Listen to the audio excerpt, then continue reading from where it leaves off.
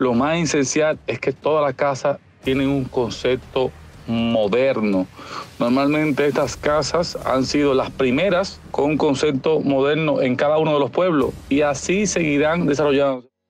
Este video es sumamente importante. Vamos a ver muchos de los proyectos que hemos ido realizando aquí en República Dominicana gracias a ustedes. Proyecto de casas, concepto abierto, que lo hemos ido viendo en Santiago, en Barahona,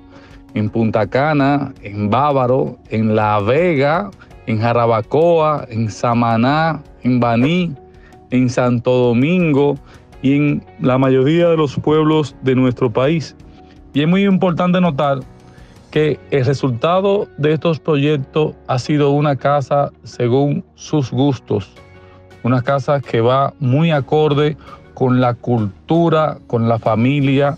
con su historia, cómo viven. Y en función a eso, pues vamos desarrollando y aprovechando el 100% del terreno, en función al ancho y a la profundidad,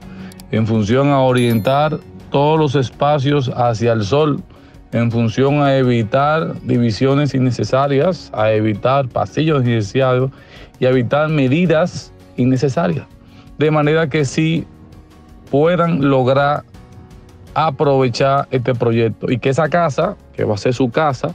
que va a durar normalmente de 90 a 120 años, pues la puedan lograr por el camino más conveniente. Se van a dar cuenta en estas imágenes que estamos viendo que todas las casas son un reflejo de su personalidad. Todas esas casas las hemos diseñado, codiseñado juntos con ustedes y hemos ido logrando el camino más conveniente también en todas esas casas hemos tomado en consideración mucho